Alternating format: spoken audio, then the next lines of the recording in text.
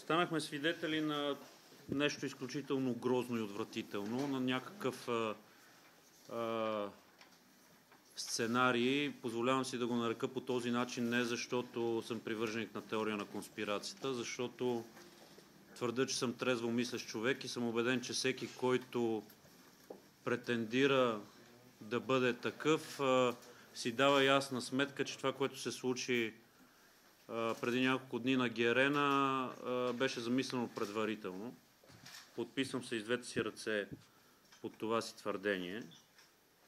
Сценарий, който със сигурност единствения губещ ще бъде Левски.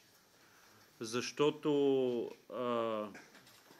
от тук нататък на всички ни е ясно как работи манипулационната машина. Ясно ни е, че Левски е най-големият дразнител и че ние сме в устите на всички. Самия факт, че до преди няколко месеца господата Ганчев и Домощиев общуваха по един кръчмарски начин по медиите. Ден след тази грозна сцена тук на Герена, пак през медиите се прегърнаха, говори, че наистина тези неща са били планувани да се случат и те ще бъдат в ущърп на Левски. Поради тази причина ние настояхме изрично а, да се преразгледа евентуално решение за отнемане на точки.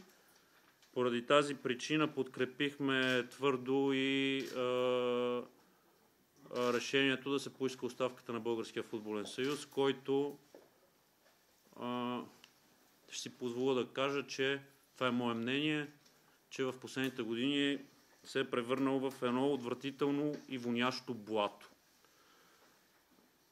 Там има хора с зависимости, някакви президенти са в изпълкома, те решават а, някакви неща свързани с собствения им клуб. Ако примерно а, апелативната комисия потвърди решението на дисциплинарната да извади Литекс от групата, а те най-вероятно ще го подкрепят, защото правилника на Футболния съюз не им дава друга възможност, а пък в апелативната комисия е пълно с юристи, те едва ли ще си плюят на дипломите, въпреки че не е изключено, то тогава съдбата на Литекс остава в ръцете на изпълкома. Тоест, какво се получава? Гриша Ганчев ще решава дали да дали Литекс да, да бъде извън групата или да бъде в групата. Това е най-пресният пример за това, защо искаме оставката на Футболния съюз и промени. Няма да се задълбавам повече за причините за, за вземането на това решение. Вие сте по-добре запознати с много от детайлите, които се случват там.